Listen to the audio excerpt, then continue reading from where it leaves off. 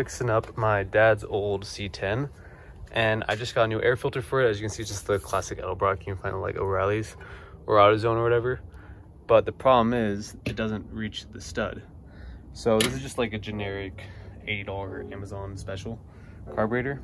And this is the actual, the original stud, but it's way too short. It needs to be like an inch bigger. So I'm gonna be showing you how I'm going to get around that. So obviously first step, take this out. So I went to the store already and I tried finding one that was just a little bit bigger at like AutoZone, but they didn't have it obviously. So I went to Ace and I was able to buy these parts.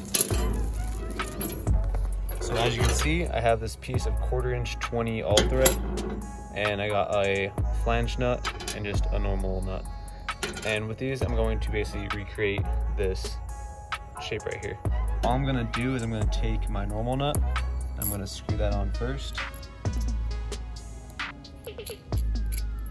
Just like that. And then I'm gonna take my flange nut with the flange facing down because that's gonna recreate this part right here. And I'm gonna screw that on. Just like that.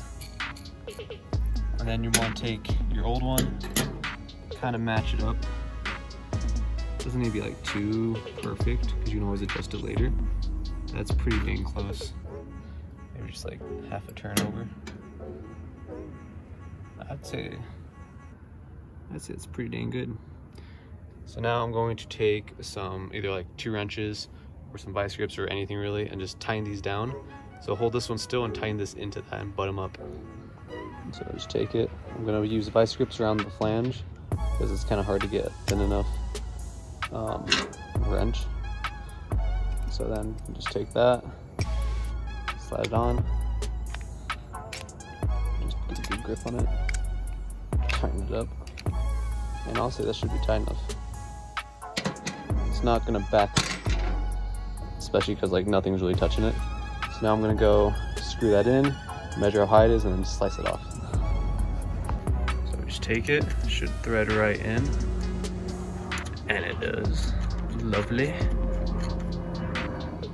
Nice. Just like that. And then we can take this. I'll take this top part off just so you guys can see. And I also had to purchase this adapter plate. So if you guys are having trouble getting this to like fit on your new air filter, they sell these at O'Reilly's. It comes like a pack like five. So you just pick whichever one fits your setup and that fits. And then this just comes on and it seats on it right there, like so. And then take this, drop it in. When you buy this air filter, it comes with a brand new wing nut, and that should just thread right on nicely. And now I'm going to mark it like a little bit above where I want it to be right there, I think, lined up with the tops of the wings. I think it should be plenty. Should give me enough wiggle room to play with. So I'll go with my angle grinder, just chop it right off.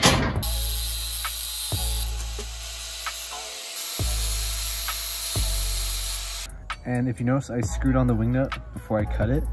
So when I back this out, it'll help straighten out those threads. Because usually when you cut it, even after like rounding it off, the threads are usually a little bit jacked up. And as you can see, it gets stuck because they are a little bit jacked up. So I just go back and forth slowly until it eventually straightens them out.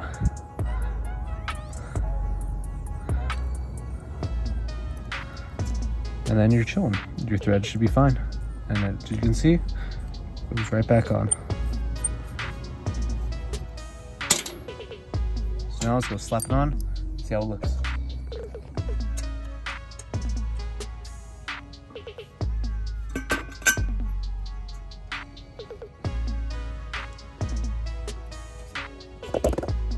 All right, there you have it. As you can see, it's nice and secure and it looks pretty dang nice, especially with this brand new air filter on it. And it just brings out the whole car, makes it look so much better. For the longest time, it's been sitting without an air filter, which is not ideal. So this, I'm very happy to have it on.